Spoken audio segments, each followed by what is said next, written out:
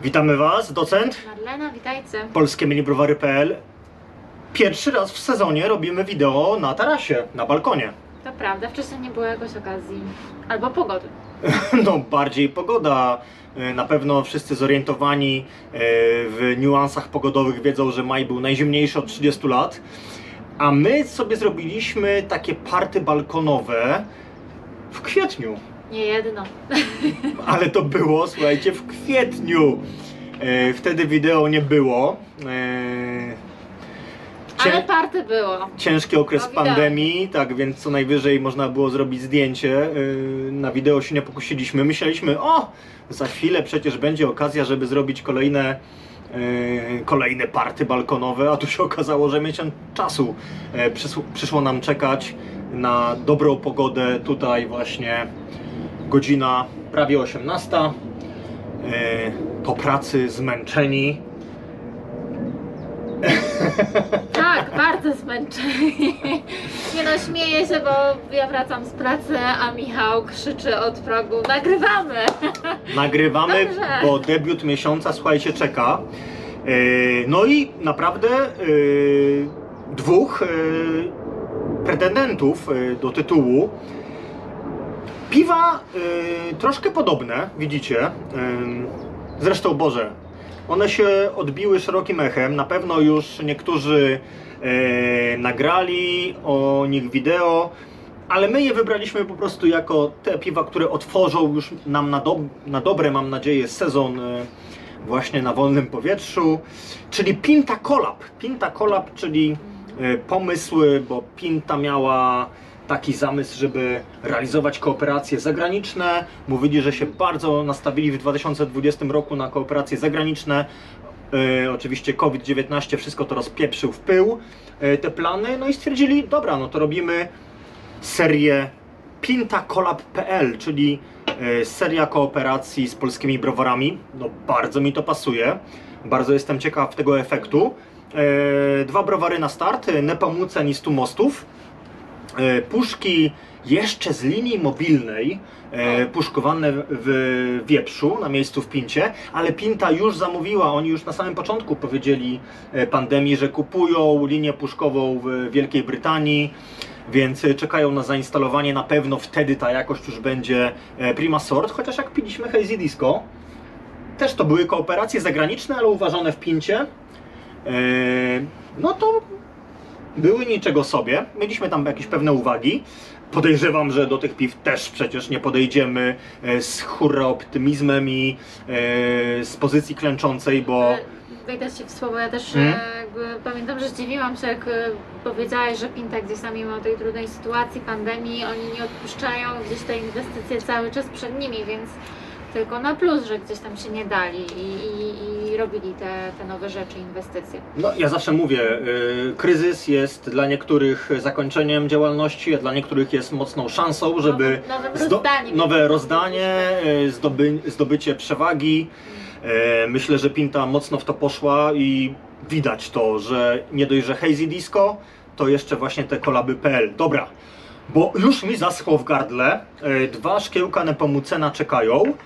No właśnie i e, Nepomucen pójdzie jako pierwszy. Ja, ja, ja, tylko, ci, Właśnie, ja tylko ci chciałam powiem, Się zapytać, które jako pierwszy, no jest. E, zawsze jako pierwsze idzie lżejsze, ale słuchajcie, ekstrakt o- obydwu 18 balingów, double e, dry hopped, double IPA. E, Nepomucen ma 7,3. No, ja widzę, że to są konkrety, kurczę. Jak Są na... konkrety. E, Nepomucen 7,3, Alko 100 mostów 7,8, ale decydujący jest hop rate i to jest niesamowite, że e, tu jest naprawdę pełno, pełno informacji. Naprawdę nie mam się do czego przyczepić. Full info. Ekstrakt, alkohol, hop rate. Nepomucen ma Wszystko jest. 19 gramów na litr, 100 mostów ma 21 gramów na litr, dlatego zaczynamy od lżejszego. Ale to chyba już mówiłeś wcześniej, że chyba Pinta, jeżeli dobrze pamiętam oczywiście, że Pinta jakby bardzo dokładnie jakby opisuje te wszystkie kwestie na, na, na puszkach czy też na piwach, że tam tych informacji na pewno nie brakuje, tak? Jest tutaj to samo w sumie. No jeżeli tak zapamiętałaś, to okej. Ja nie jestem w stanie przytoczyć każdego browaru, jak opisuje piwo na swoich etykietach. Może to nawet nie było na nagraniu, tylko po prostu mi to mówiłeś. Dobra, e, no i zobaczcie, to czarne wieczko, e, to jest fajna rzecz. No właśnie, a propos, Nepomucen widzieliśmy na Facebooku, nie widzieliśmy jeszcze tych puszek w realu. Zrobił totalnie czarne puszki, więc e, są etykiety kolorowe, czarna puszka, więc Nepomucen naprawdę zrobił to. puszki. Zrobił to tak. Puszki w dobie pandemii wygrały, zdecydowanie wygrały. Ja się tak trochę martwię, że one bardziej wygrały niż lokale. Że lokale obecnie sobie mogą gorzej radzić przez to, że wszyscy dymają do badylarza po puszki. Sam to zrobiłem. E, To nie jest żadna wysyłka marketingowa. E, Kupione 12 zł za sztukę. Oczywiście, e, jakby nie było w piwomaniaku warszawskim. Pozdrawiamy, Pawle. Tak, pozdrawiam. E, No i nalało się bardzo elegancko. E, Trzymałem w pozycji poziomej, wymieszanej, więc Co jest jak najbardziej hazy. Złote, piana szczątkowa, ale dobra. Bardzo jestem ciekawa, czy będzie alkohol czuć, bo to jednak nie jest mało. 7,3. No i yy, to już mamy te czasy, słuchajcie, 2020 rok, kiedy ja nie mam oporów zacząć y, całego, y, całej sesji, całego wieczoru od piwa Double IPA w wykonaniu polskim. No świetnie. Czyli dla ciebie już nie ma różnicy, czy to jest lekkie No bo to czy- się naprawdę zmieniło. Naprawdę kiedyś te e, Double IPA, e, mocne IPy od siedmiu w nie górę. ma znaczenia, ile To, było, to była masakra, no po prostu ten alkohol tak walił po kubkach smakowych. E, Marlena teraz będzie, e, no można powiedzieć, e, brzydko mówiąc, królikiem doświadczalnym, bo wróciłaś z pracy i masz okazję spróbować piwa 7,3 jako pierwszego. Tak, i pytanie, czy od razu stracę przytomność, Nie, czy, czy, nie. czy powiesz, że alkohol jest wyraźny? Na pewno jesteśmy tutaj y, aromatem. Tak, no ja jestem zachwycona aromatem, ale to... Aromatem jesteśmy na pewno, na było do pewno. przewidzenia. Znaczy, ja nie wiem, czy było do przewidzenia, ale to jest naprawdę świeży, intensywny aromat. I teraz pytanie czego? Dla mnie cytryna i mandarynki przede wszystkim.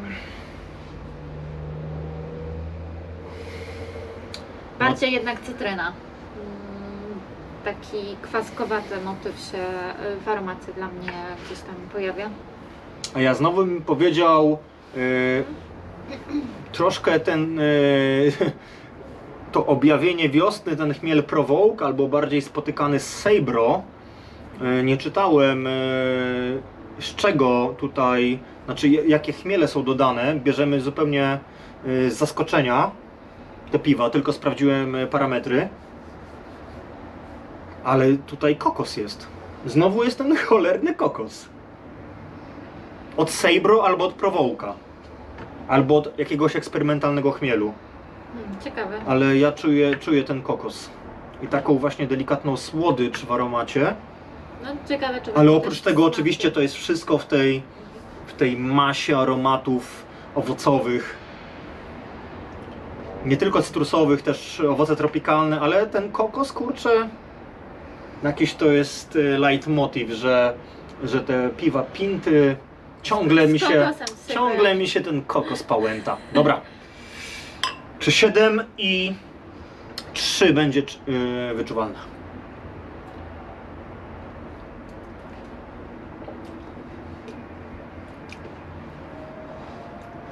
Hmm.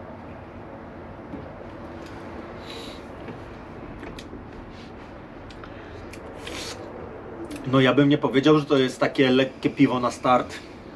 Ono ma swoją... Eee, gramaturę. Jest, jest gęste, jest takie pełne. Mm, No i ja czuję od razu rozgrzewanie. To nie jest tak, że to co mówisz, że to jest Mm. leciutkie piwko na, Ta, na na, początek, na start. Mhm. na start.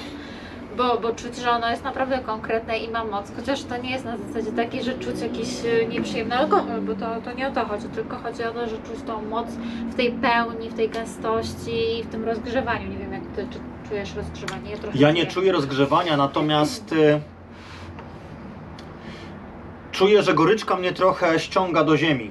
e, że tutaj ten aromat był tak finezyjny, tak ulatywał do góry. Człowiek już by się wzniósł, e, poetycko rzecz biorąc. No patrzę naprawdę na nasz tutaj, pewnie widzicie w odbiciu szyby, bardzo ładny plener za nami.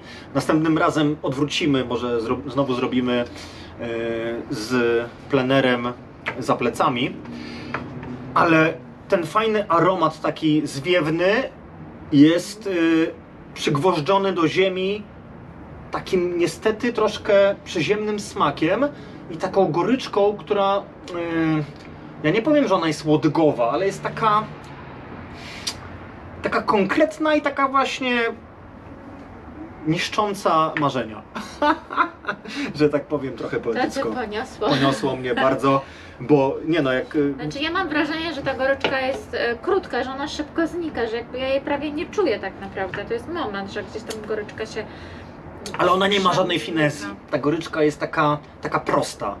Y, W porównaniu do tego naprawdę złożonego, y, fantastycznego aromatu, który jest wypadkową wielu skła- y, składowych, to ta goryczka jest po prostu taka, takie walnięcie trochę, no takie obiecaliśmy Ci naprawdę y, fajne piwo, a teraz y, się po prostu z takim mm, kurczę, no powiem, w stosunku do aromatu to piwo mnie trochę rozczarowało. Jest, jest, nie jest tak złożone jak aromat. Czyli spodziewałeś się więcej par. Nie no, spodziewałem się, jak zwykle y, uważam, że jeżeli jest odzwierciedlenie złożonego aromatu w złożonym smaku, jest to, czego y, ja szukam w piwie. Jeżeli aromat mi obiecuje coś więcej, a dostaję w smaku coś mniej, to się trochę czuję zawiedziony. I tak jest w tym wypadku. Czy to jest piwo złe? No oczywiście, że nie. Bo dużo obiecało, a dostałem troszeczkę mniej yy, w smaku. Zależy jakie macie oczekiwania w stosunku do piwa, tak? To jest kluczowe. Tobie smakuje?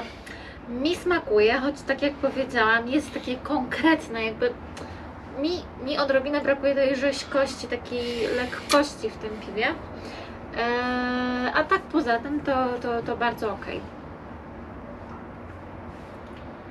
No właśnie też yy, ten motyw kokosa, ten motyw jakiejś No yy, właśnie, yy, złudnej słodyczy, on jest bardzo rozwiany tym smakiem, który jest naprawdę taki konkretny, można powiedzieć trochę jednowymiarowy. Goryczka jest naprawdę wyczuwalna. Słodycz przede wszystkim działa w nozdrzach, w, ar- w aromacie. Czyli ty wyczuwasz goryczkę solidną. Bo Im dłużej piję Ja to piwo, już e, oczywiście te pierwsze wrażenia są e, bardziej zbalansowane. E, Zawsze jest najfajniej wziąć pierwsze dwa, trzy łyki i spotkać się z tym piwem bezpośrednio. Potem każdy kolejny łyk to już jest oswajanie tego piwa. Przeczytajmy, przeczytajmy, słuchajcie, czy w ogóle mylimy się, czy się nie mylimy. Pintacola.pl Nepomucen odnajdziecie białe owoce pochodzące od chmieli Enigma no i... ta kokosa. No, y, dzięki, że mi dałaś dokończyć. Nelson Sauvin. Nutę kokosa od Seibro. O, to słuchajcie, to Nelsona nie, nie wyczułem. Oraz wątek ananasa i brzoskwini z połączenia chmielu Mozaik i drożdży Haze Days. E, oczywiście są e, e, płatki owsiane, to jest obowiązek, płatki pszeniczne jak najbardziej. Chmiele Nelson Sauvin, Seibro, Enigma, drożdże WLP 4, 4042 Hazy Days. Hmm.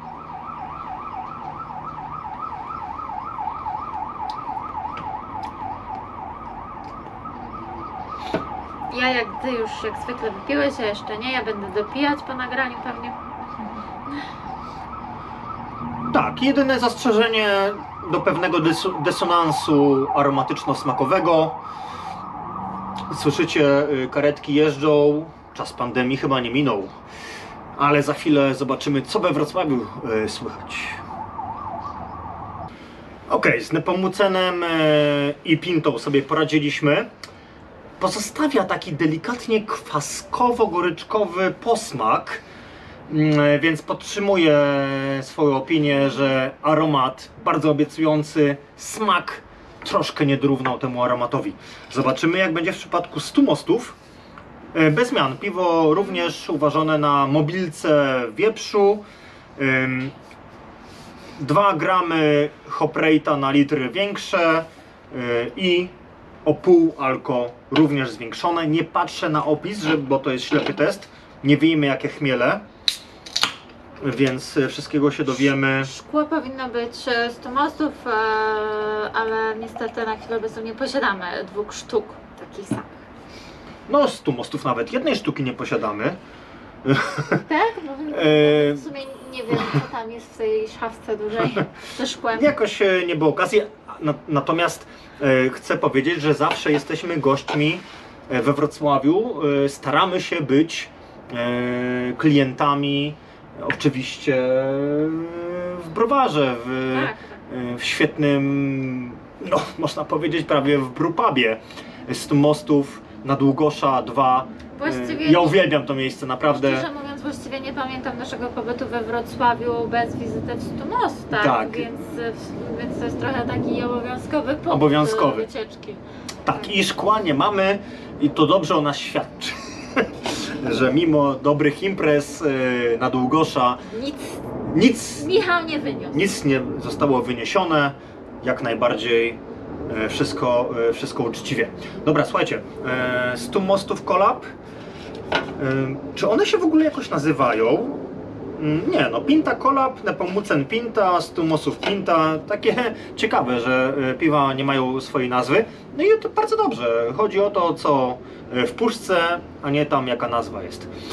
E, Bez zmian konsystencja i barwa bardzo atrakcyjna. Piana No. trochę gorzej. Tylko wydaje mi się, że jest troszkę jaśniejsze niż w porównaniu do tego Okej. wcześniejszego, że jest taki bardziej, no jaśniejszy generalnie. No ale już czekam na Twoją opinię odnośnie aromatu. Mm. No, dla mnie bardziej chyba chmiele e, są dominujące i nie ma tych owoców takich e, mocnych i dominujących. Ten aromat chyba jest troszeczkę e, delikatniejszy. Nie jest aż tak intensywny jak w poprzednim. Okej, Taka moja jest eee, tak jest. E, Opinia Marleny zawsze wygłoszona pierwsza, natomiast ja tutaj. Tak, ja tutaj. Mm, ty mówiłaś o cytrynie w poprzednim e, przypadku. Tu jest cytryna bardziej właśnie niż ten konglomerat owocowy. Jest taka jednowymiarowa cytryna i niestety, niestety, słuchajcie, mam wrażenie siarki. E, więc jak e, klasyczny niesędzia, e, robię sobie testa. Hmm, nie jest źle. Nie jest źle, nawet e, przy zakrytej e, sytuacji z pokalem. Ta siarka jest delikatna, ale trochę, trochę jej jest. Jest taki, jest taki siarkowy, siarkowy motyw. Więc? Ja, ja, ja pewnie skojarzyłabym to bardziej z chmielem niż z siarką. Może bardzo, bardzo delikatny dla mnie przynajmniej. Mm, Okej, okej. No dobra. My, według mnie aromaty nieporównywalne. Nepomucen naprawdę fantastyczny aromat, bardzo dużo obiecujący, a potem trochę oszukujący. Mam nadzieję, że w przypadku stu mostów będzie odwrotnie, że aromat taki trochę właśnie czający się, a może w smaku będzie lepiej. Zobaczymy. Może takie było założenie. Raczej nie. Mm. No właśnie. No i to jest to podejście. Mamy już ten aromat, który nie daje tak dużo. Mm. Eee, I muszę powiedzieć, że to piwo mi bardziej smakuje, bo jest bardziej orzeźwiające, jest takie rześkie. Mm.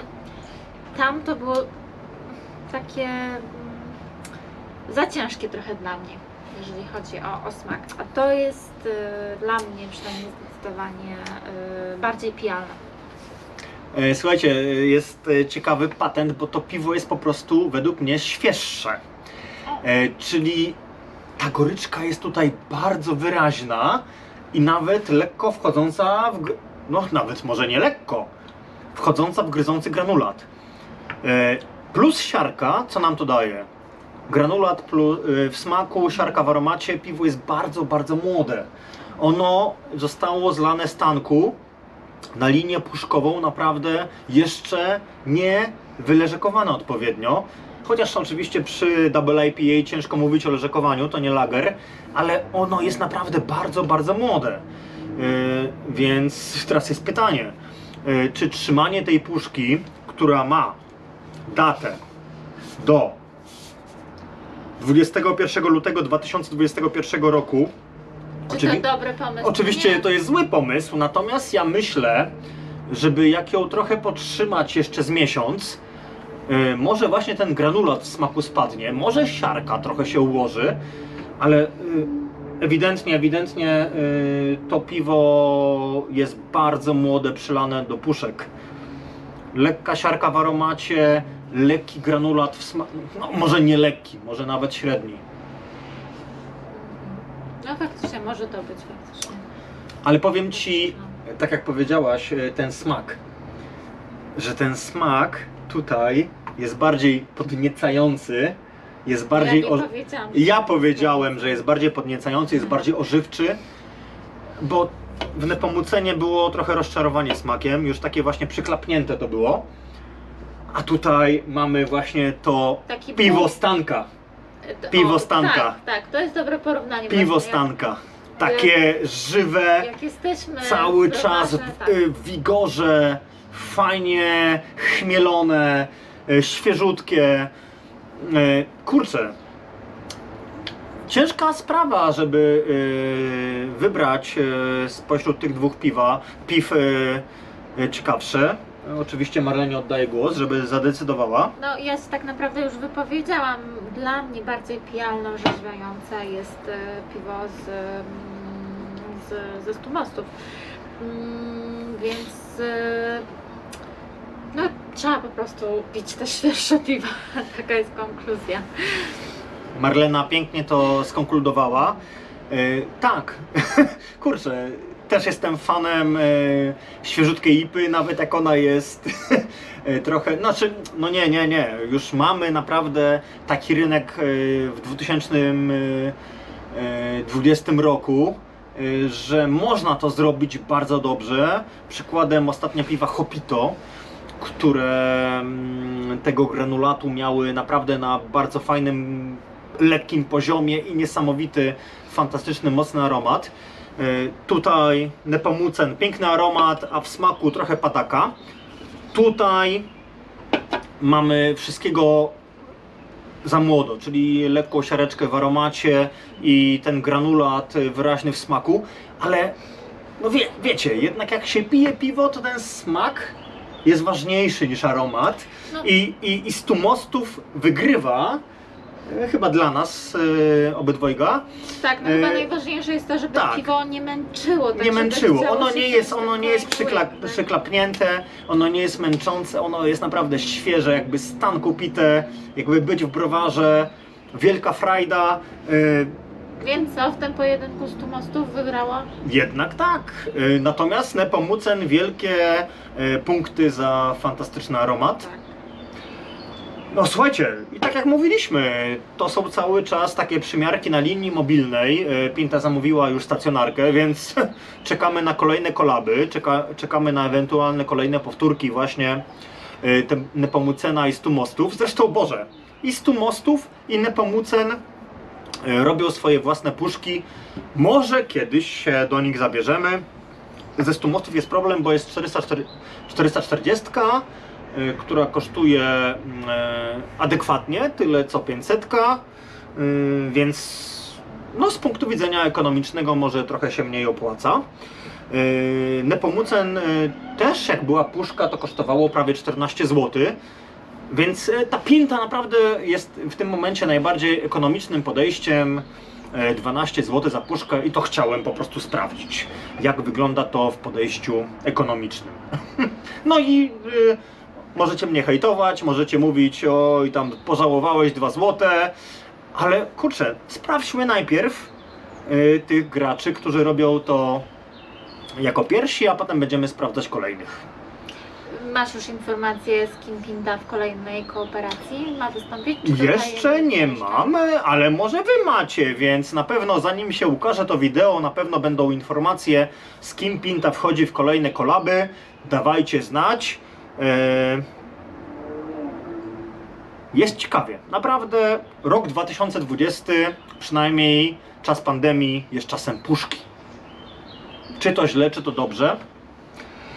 No ja też bym mógł dyskutować, bo Mm, bo w lokalach nie widzę takiego poweru nowości jak w, e, w sklepach, jeżeli chodzi o puszki, więc tak sobie trochę No to E, też jest szerszy temat. też, więc też tak, jakby- tak mi się wydaje, że puszki przejęły trochę część e, tych nowości, co były w lokalach, że ludzie będą bardziej walić do badylarza, e, wziąć puszkę, bo ona naprawdę fajnie wygląda, jest takim naprawdę ciekawym eksperymentem, a do tego lokalu po co? Nie dość, że drogo, to jeszcze się zarazić można. No, bardzo bym chciał uniknąć właśnie takiego podejścia. Zobaczymy, jak to będzie. Dawajcie komentarze, dawajcie swoje refleksje. Yy, otwarcie jesteśmy na dyskusję jak, na, jak najbardziej. No i co? Dwa piwa, kurczę, 20 chyba 5 minut. Masakra. Słowo na koniec? Na razie. Cześć.